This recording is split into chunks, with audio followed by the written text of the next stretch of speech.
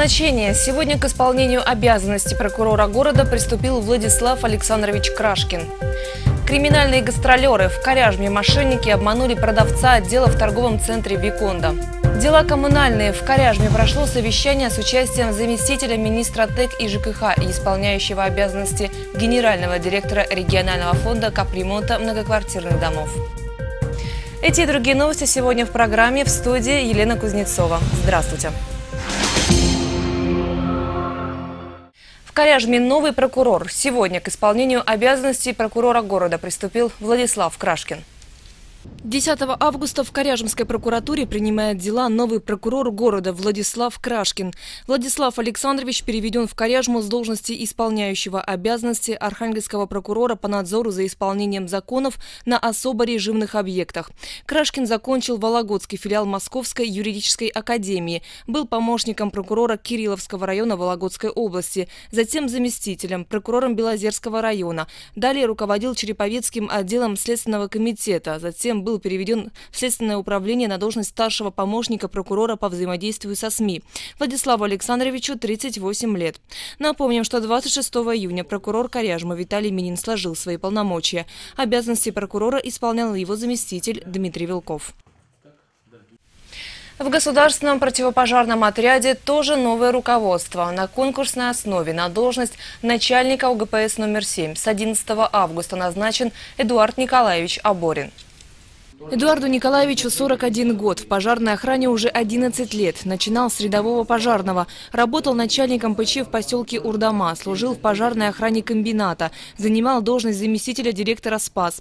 С 11 августа Эдуард Аборин займет должность начальника ОГПС номер 7. Это отряд государственной противопожарной службы, в состав которого входят 4 крупные пожарные части Коряжмы и соседних районов и 5 пожарных постов небольших поселений.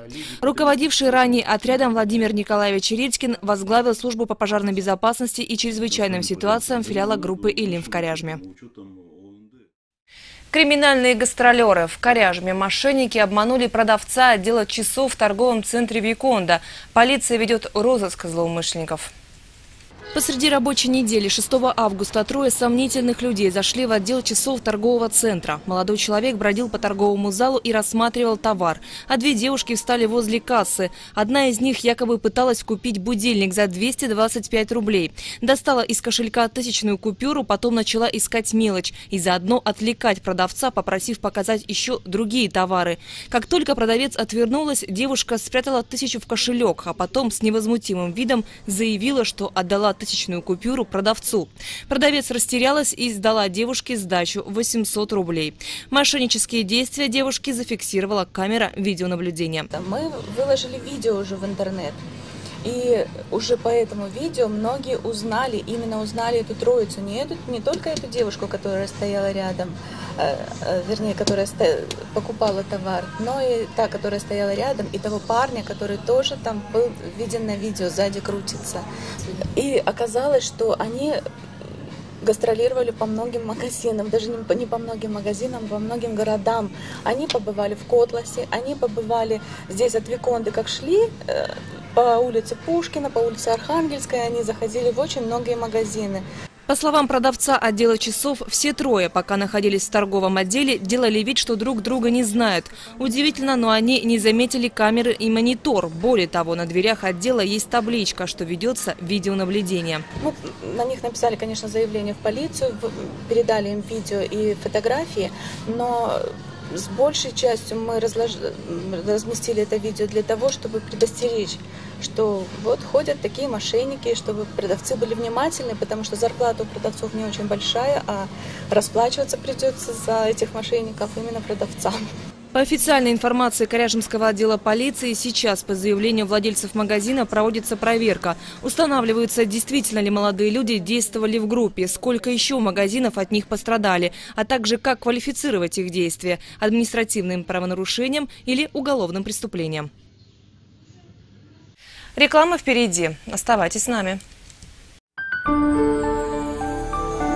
Спешите на летний ценокос в аптеке «Фармация». Скидки до 20% на косметику, солнцезащитные средства, средства гигиены и многое другое. Устали переплачивать за мебель? Диван диванов. Просто здесь дешевле. И мы снова в эфире продолжаем выпуск. Жилищное законодательство и реализация региональной программы капитального ремонта многоквартирных домов. Эти темы стали главными в разговоре с населением Коряжмы. Встреча прошла сегодня в конференц-зале администрации города с участием заместителя министра ТЭК и ЖКХ Елены Петуховой и исполняющего обязанности генерального директора фонда капремонта многоквартирных домов Архангельской области Александра Бараева. Программа капитального ремонта многоквартирных домов Архангельской области принята весной прошлого года. Обязательство по оплате за капремонт для собственников жилья возникло с ноября 2014 -го. Но квитанции на оплату жители области стали получать гораздо позже или не получают до сих пор. Разрешить все проблемы коряженцы смогли на состоявшейся встрече. Вопросов представителям регионального правительства и фонда капремонта было много. Нам очень много приходит э, таких заявлений, в том числе из города Коряжми, которые заявления, как правило, имеют две-три совершенно одинаковые формулировки там, об отказе от оплаты взносов на проведение капитального ремонта. Можно с уверенностью говорить, что вот данные отказы от оплаты взносов на проведение капитального ремонта, они не имеют под собой никаких правовых оснований. Подобные программы капремонта разработаны в каждом регионе. На каждой территории установлены и размеры ежемесячных взносов. В нашей области они утверждены региональным правительством в этом году. Это 6 рублей 37 копеек с одного квадратного метра общей площади жилья. Региональная система капитального ремонта предусматривает оплату собственниками взносов на капитальный ремонт. Сумма взноса определяется постановлением правительства Архангельской области. Каждый регион сумму взноса с квадратного метра определяет самостоятельно. А, таким образом, в 2014 году сумма взноса с квадратного метра составляла 6 рублей 10 копеек. В 2015 году вам платежки приходят по 6 рублей 37 копеек. На 2016 год эта сумма установлена в размере 6 рублей 66 копеек. Проведение капитального ремонта многоквартирных домов теперь должны оплачивать собственники жилья. Правда, большинство домов нашего города внесены в региональную программу со сроком проведения капремонта в 2040 году и позже, что явно не устраивает коряженцев. Эти и многие вопросы сегодня горожане смогли озвучить на встрече, а вот получили ли они исчерпывающие ответы, об этом в наших следующих программах. Мобильный репортер в воскресенье 9 августа у торгового центра столицы водитель на иномарке сбил пожилую женщину. К счастью, пострадавшая осталась жива. Камеры видеонаблюдения зафиксировали момент происшествия. В 19.35 в зоне погрузки и выгрузки товара торгового центра водитель на Subaru Impreza на скорости сбивает человека. От удара пострадавший человек отлетает на несколько метров в сторону. Оказалось, автомобиль сбил женщину 60 лет. 19.30 5 18-летний водитель автомобиля Subaru Impreza совершил наезд на пешехода женщину 60 лет. В результате она госпитализирована в травматологическое отделение с переломом ноги. Водитель иномарки с места происшествия скрываться не стал. Сотрудники ГИБДД сейчас выясняют все обстоятельства дела, в том числе и то, с какой скоростью ехала иномарка на этом участке дороги. О спорте. Ровно месяц остался до финальных игр турнира по дворовому футболу. На участие в соревнованиях подали заявки 8 команд. Спорткомбинат «Али» продолжает регистрацию участников. Турнир по футболу среди дворовых команд пройдет 10 и 11 сентября. Стать участниками соревнований могут мальчишки и девчонки от 9 до 14 лет, кто любит футбол и готов показать свое спортивное мастерство. Подобные соревнования спорткомбинат «Олимп» организуют 11 лет подряд. Турнир посвящен памяти Романа Глинкина, который в свое время стал инициатором возрождения дворового футбола в Коряжме. Победители и призеров состязаний ждут кубок, грамоты, медали и подарки. Также по итогам турнира будут названы лучшие игроки. В этом году соревнования в очередной раз поддержала группа «Элим» через благотворительный фонд «Элим Гарант». Организаторы для тренировок командам вручают мячи, а в дни проведения соревнований – спортивные майки с символикой турнира. Заявки на участие можно подать в спорткабинете «Олимп», кабинет номер один. И сейчас коротко о погоде. Партнер метеовыпуска – магазин «Диван Диванов». Устали переплачивать за мебель? Диван Диванов. Просто здесь дешевле.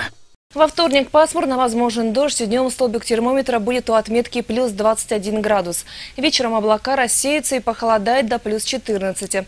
Атмосферное давление 758 миллиметров ртутного столба. Ветер северо-западный 1-2 метра в секунду. Мебель от магазина «Диван Диванов» – безупречное качество и многообразие цветовых решений. «Диван Диванов» Коряжмина, Дыбцина 6 и Ломоносова 10. На этом информационный выпуск новостей подошел к концу. Сразу после рекламы смотрите архивный выпуск телепроекта «Время и люди», посвященный первостроителям нашего города. А я с вами прощаюсь. Всего доброго и добрых вам новостей.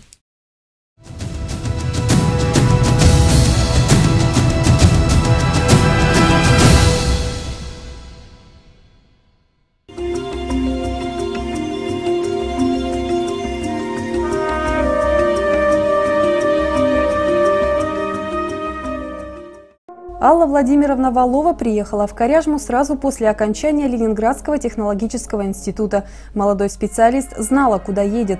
В 1955 году здесь уже вовсю трудились ее родители. Папа был первым начальником энергопоезда, мама – секретарем постройкома. Дочь пошла своей дорогой, стала инженером-химиком. Занимались мы в основном э, документацией, чертежами, э, ксерокопии делали, тогда еще не было никаких там компьютеров, все это сами перерисовывали чертежи, размножали. Ну и ходили, вот нас водили на производство, где работали вот эти заключенные. Ну, они нас тут ничего не оскорбляли, не обижали, и мы очень интересно, тут молодые девчонки приехали, так это, и ходили туда, а потом уже, когда э, дело пошло к подготовке уже этих цехов, нас уже перевели центральной лаборатории, там мы находились. Первый самый год нас э, пустили тут Сельченко, он очень любил молодежь, да мы, собственно, одни и были эти инженеры. Он нас э, отправил в этот, э, на склады делать инвентаризацию. В это время подходило оборудование и для отбельного, и для варочного. Все это в ящиках, мы переписывали эти номера и вели вот эту инвентаризацию по складам как раз. Вот этим мы и занимались. Пока молодые инженеры занимались бумажной работой, на промплощадке активно шло строительство первой очереди комбината. Она раскинулась на 900 гектаров. Строителям и монтажникам требовалось уложить более 400 кубометров бетона и железобетона, смонтировать 17 тысяч тонн металлоконструкций и более 60 тысяч тонн технологического оборудования. В 1961 году агрегаты и механизмы сульфитного завода готовились к пуску. Первым опробовали оборудование кислотного цеха первую печь там они включили, было очень много народу, в основном э, руководство Треста, и приехало много людей, и мы сами тут находились, даже первый газ сделали как бы лабораторный анализ, и первую кислоту, это типа так временного пуска, проверили оборудование. Но людей было, они все, э, всем интересно, все смотрели на эти окошечки, где горело это серое и синенькие огоньки. Это все-таки первое дыхание оборудования, и вообще первый что-то дышит, э, было такое занятное. Э, все вот в эти окошечки смотрели, как будто уже все готово. Ну, а потом постепенно стали вот эту кислоту, она еще была слабая, неукрепленная, потом э, стали уже, ну, тут монтировали и котлы к этому времени варочные, их уже подвозили, эти шведские котлы, 320 кубометров емкости, биметаллические. Их постепенно ставили, ну и пробные варки начались уже. Алла Владимировна стала свидетельницей всех этапов рождения первой целлюлозы. Но прежде чем ею стать, массе еще предстояло пройти сложную систему промывки и очистки. Минуя на первых порах отбельный цех, она шла в массный бассейн сушильного цеха. И когда на сетку приспата впервые вышла серая лента небеленой целлюлозы и стала наматываться на накат, счастья сульфичиков не было предела. Это была такая радость и тоже людей, э, смотрящих на это все, было намного больше самих работающих. Но это было очень интересно, все смотрели, вот у меня где-то кусочки есть этой небеленой целлюлозы первой как раз.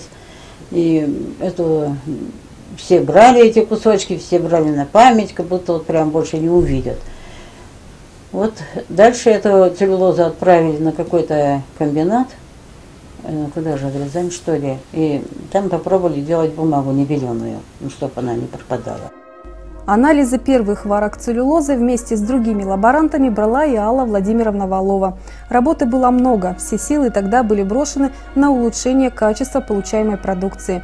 Но до ввода в эксплуатацию фильтра отстойных сооружений и станции химической очистки воды добиться этого было непросто. Речная вода отличалась повышенным содержанием железа. Много нового и полезного для себя молодые специалисты узнавали в ходе командировок на другие предприятия отрасли. В числе сопровождающих коряжемскую целлюлозу не раз была и Алла Владимировна Валова. В общении с более опытными коллегами решались многие проблемы, но не все комбинаты тепло принимали своих конкурентов придирались в основном э, к сорности. Сорность это маленький-маленький, вот взять, если э, просто даже лист, там увидишь костринку, она у них вот это, фильер, вот, это забивает, и у них получаются обрывы. Также точно от смолы. Очень большая обработка, но и мы у себя э, работали, чтобы не было этой смолы как можно меньше всякими химикатами, павами.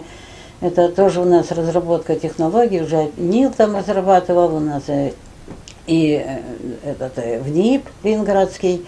Э, все мы были вместе, все мы были дружно как-то. Интересно было. Мы тоже порой, когда что-то новое они предлагали, мы тоже э, до поздна сидели на, на производстве. И интересно было. Могилев тоже ездили, это в Белоруссии. Там они как-то быстрее с нами контактировали. Это все. Приходилось ехать, ездить даже в этот Григишки, это в Литве. Там у них, э, они придирались смоляным таким пятном, но это когда у нас смола иногда, особенно весной, э, она здорово появлялась, проявлялась от разницы воды, от температуры, и поэтому, ну тут мы сами тоже знали уже это дело, и поэтому принимали все меры, и оборудование добавляли, у нас и валки, и атис, и такое оборудование было, и добавляли, и облагораживание, когда пустили. Конечно, без облагораживания вискозы бы не было, повышение альфа-целлюлозы, и очистка шла хорошая. Ну и много дел, нам помогали много НИЛ наш и вот это ВНИП ленинградский. В общем, народу приезжало очень много. Все, это новое предприятие совершенно было, именно чисто вискозное, такое предприятие было только э, Приозерске, ну и Архангельск. Ну и у них это, ну еще советский э, этот э, был Нем, э, на Немане. Ну, у них все было... Самая лучшая была вискоза в то время Приозерская. Они много над ней работали. Остальные потом так и прикрыли. И Архангельск, и Советский это вот комбинат, они перешли на бумагу. Ну вот, а в конце концов осталось одно вискозное Котловское, и то, и то закрыли до сих пор сожалею об этом. Славилось первое производство комбината и своей газетой. Называлась она «Сучок» и выходила раз в месяц. Прогульщики, любители спиртного, нарушители дисциплины, несуны и даже домашние дебаширы. Всех брал на карандаш главный выпускающий редактор Юрий Пономарев. Алла Владимировна тоже принимала непосредственное участие в подготовке газеты. Ее задача была найти героев. Юра Пономарев был исключительный человек. Он так был есть. Он э, очень хорошо сочинял. Вот эти все, что ему принесешь, какие, дальше не надо было говорить. Он пойдет, сходит на человека, посмотрит. И выберет какую-нибудь черточку, свойственную только этому человеку. И, в общем, как бы он ни разрисовал, все уже узнавали. Ага, это вот тот-то. Так что... И, и в стихах.